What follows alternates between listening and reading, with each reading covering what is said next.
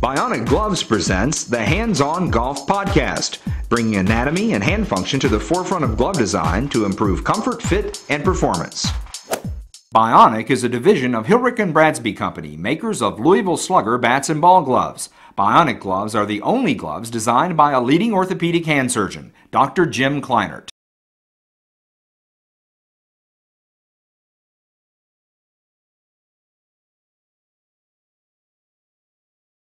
Welcome everyone to this edition of the Bionic Gloves Hands-On Golf Podcast. My name is Chaz Vrau, and of course I am here with Eric Gilliland from the Audubon Country Club here in Louisville, Kentucky.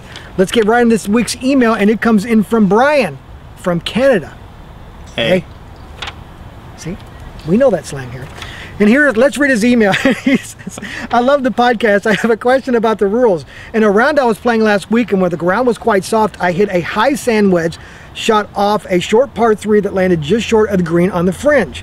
When it landed, the ball plugged quite deep into the fringe, where less than half the ball was above the ground. What are the rules in this situation? Is the ball considered unplayable, and I or do I have to take a stroke penalty? Eric. Great question and one that we run across quite often. So we're going to take you to the fringe of one of our holes and show you how to proceed from there. Great. Well, Brian, A, from Canada, A, we're going to send you a bionic glove just for your participation. It's really that easy, everyone. If you're out there and you're just checking out the podcast on YouTube or within iTunes, if you want to play with us, you know, learn, send us an email, podcast at bionicgloves.com, and if we use it, we'll send you a glove. Now, when you send the email, make sure you send a question, your full name, full mailing address, whether you're right or left-handed, and what size glove you wear. And if we use your email on a podcast, by gosh, A, we will send you this glove on us. No, no strings attached, just because this is our podcast that we work together to create for you. So now let's go join Eric on the course to see how we can figure um, out how to resolve this. Uh, is it a stroke penalty? It's, it's stuck in the ground. How are we going to resolve it? Well, we're going to find that out right now. Brian, as we discussed, here we are with this embedded ball situation that you described. The, the big thing to notice here is that this is in a closely mown area, not in the rough. And normally what I do is refer to my scorecard to see how to proceed in this situation. And reading right from our local rules here at Audubon, a ball embedded in its own pitch mark through the green may be lifted, cleaned, and dropped without penalty.